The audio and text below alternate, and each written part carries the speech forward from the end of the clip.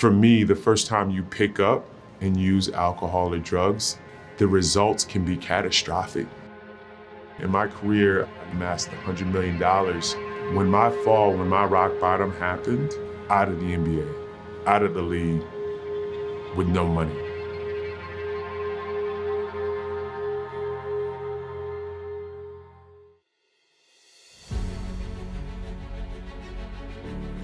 I'm Kevin Atlas, and I'm bringing some of the most successful, most inspirational human beings on this planet into your classrooms. They beat the odds, they overcame adversity, and through that, they found a way to believe. I've partnered with Varsity Brands to provide the answers, the blueprints. I have this heart that bleeds for the youth of this country, so I fight as a soldier for change, and I want us all to learn to lead, and not just to elevate ourselves, to elevate each other. I'm looking for students nationwide to take action from what they learned from this series. This is how the world changes. It starts with you.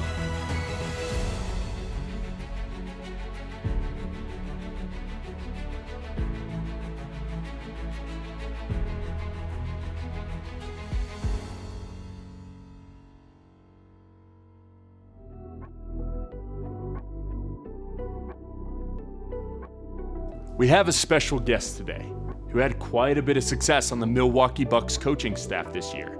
After just one season as an assistant, his head coach, Mike Budenholzer, won Coach of the Year.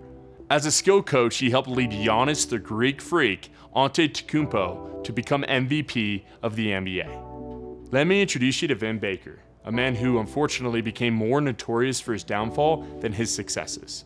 I sat down with him to hear his story about redemption. I was cut as a freshman.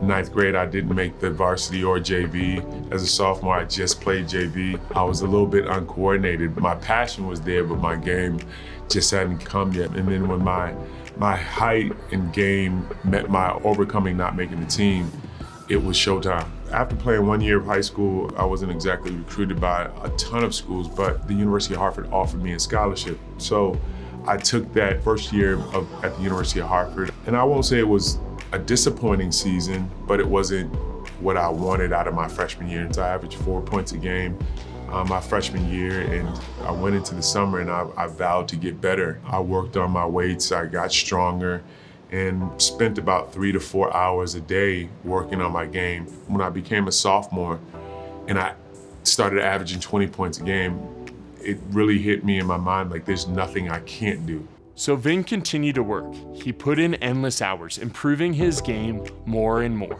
By the time he hit his last two years of college basketball, Sports Illustrated named him the nation's best kept secret. Only after that article, he was anything but. College goes by so fast, and until like the next night, it felt like I was sitting in Detroit at the Palace with my parents, with my agent, with my friends, wondering what's who's going to draft me. With the eighth pick in the 1993 NBA draft, the Milwaukee Bucks select Vin Baker. I'll never forget it, you know, hearing my name announced, uh, not knowing that it was going to be announced. It was just a magical, special moment, one that I'll always cherish. All the hard work, all the dedication, all the overcoming, all the belief, it's here, it happened. I was somewhat overwhelmed by a lot of the transition from college uh, to the NBA. The hardest adjustment for me was adjusting to the lifestyle of the NBA. I'd gone from a $20 budget in college a week to a $50,000 budget in a month. It's gonna sound crazy, but I, I think I bought like a, an alligator. Like I was making this up.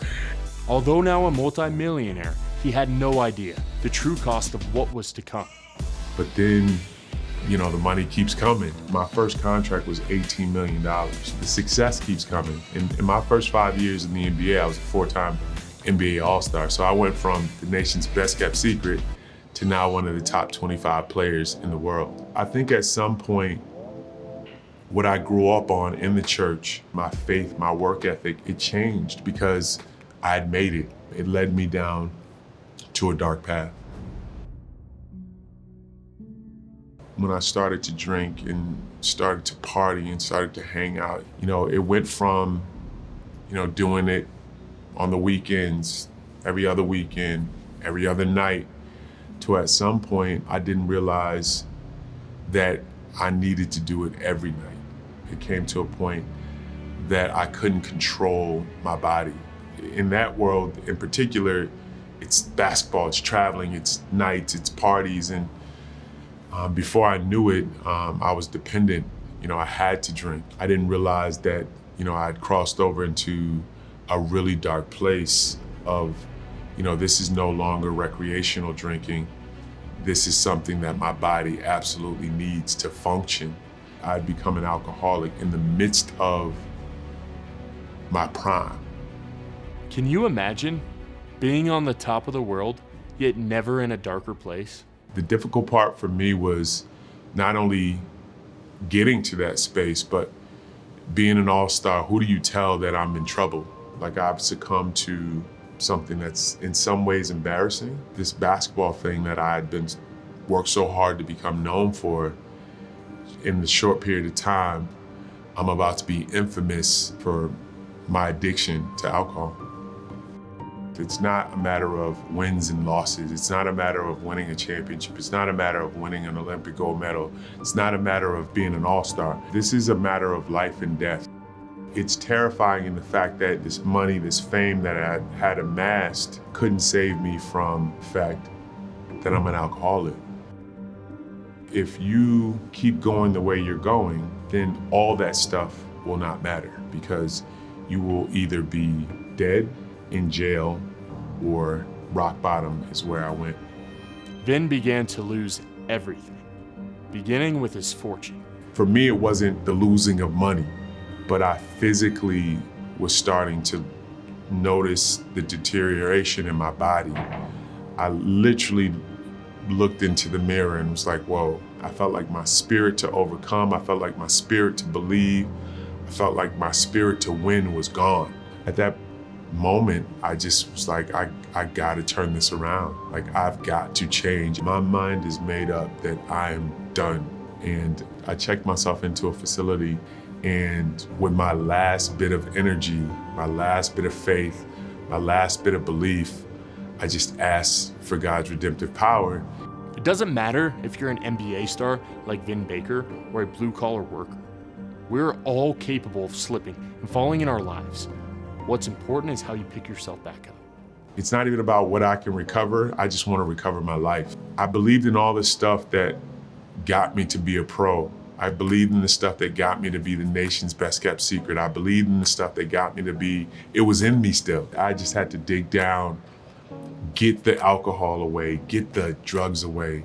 I had to dig down and find that person again, and I was able to do it. You know, the worst thing you could do is keep this a secret the best thing you could do is to ask for help.